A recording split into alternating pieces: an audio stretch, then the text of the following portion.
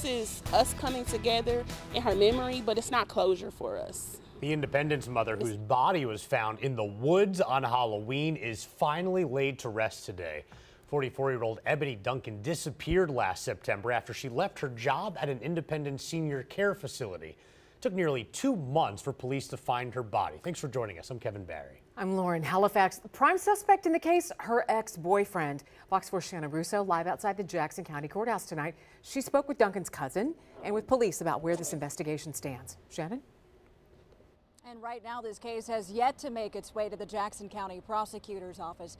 I spoke with Independence Police today, who tell me that the lead detective on Ebony Duncan's case is currently writing a probable cause statement, which should make its way to the DA's office as early as next week. Meanwhile, Ebony Duncan's friends and family finally held a funeral for her today, nearly three months after her body was found.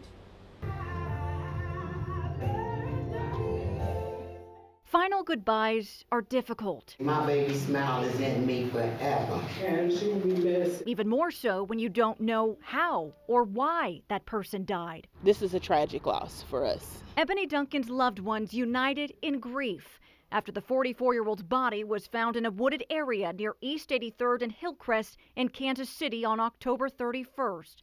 Her funeral happening today after the medical examiner's office spent weeks determining how she died.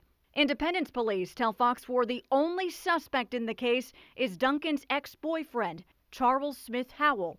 He has not been charged. We could not bury her the way in which we wanted to bury her because the person that took her away from us did something so tragic to our family. We are scorned behind this. Duncan is being remembered as an energetic Christian woman who loves singing and her family, especially her three adult daughters and five grandkids. She used to love me how she used to love my baby cousins. Court documents say Duncan disappeared on September 6th while leaving work in a silver four door sedan.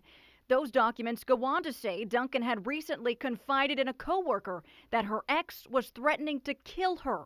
Investigators later learned that silver sedan belonged to Charles Smith Howell's current girlfriend, Kiera Ransburg. Fox 4 last reported that Independence police were looking for her to question her. Today, we learned that Ransburg spoke with police out of state, telling them she feared for her safety. Police say at this point they do not think she was involved in Duncan's disappearance.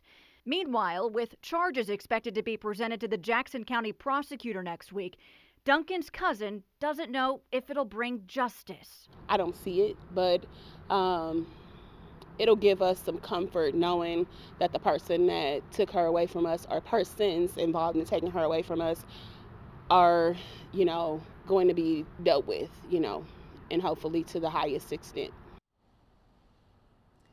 So, where is Charles Smith Howell? Tonight, he is in federal custody with the U.S. Marshal's Office for ammunition charges.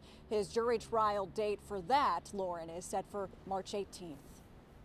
Shannon Russo at the Jackson County Courthouse in Kansas City tonight. Thank you.